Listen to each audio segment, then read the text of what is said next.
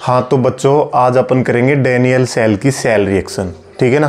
तो देखिए, जो डेनियल सेल है, उसमें जो अपना एनोड होता है, वो जिंक का इलेक्ट्रोड होता है, ठीक है? तो एनोड पे जो रिएक्शन होती है सेल की तो एनोड पे रिएक्शन होती है क्या? जेडन है, और जेडन का क्या हो जाता है? ऑक्सीडेशन हो जाता है, ठीक है? और जेडन प्लस टू में कन्वर्ट हो जाता है, और दो इलेक्ट्रॉन फ्री हो जाते हैं, ठीक है? अब इसके बाद में कैथोड कैथोड अपना क्या होता है? कॉपर का। कैथोड होता है कॉपर का और ये किस फॉर्म में होता है सी यू प्लस टू के फॉर्म में और इसने क्या दो इलेक्ट्रॉन ले लेता है और क्या बन जाता है सी यू में कन्वर्ट हो जाता है, ठीक है? तो ये तो एनोड पे सेल रिएक्शन होगी किसकी? एडेनियल सेल की और ये किसकी पे होगी? कैथोड पे। अब अब अपन देख लेते हैं क्या नेट सेल रिएक्शन क्या देख लेते हैं?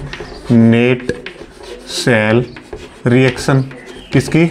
वही अपने डेनियल सेल की तो देखते हैं। तो देखिए विद्यार्थियों, इसमें दो इलेक्ट्रॉन इस साइड में है और इसमें इस साइड मतलब इसमें लेफ़्ट साइड में, इसमें राइट साइड में। ये कैंसिल हो जाएँगे। और भी कुछ कैंसिल हो रहा है क्या? नहीं हो रहा। तो जो भी है, उसको लिख देते हैं।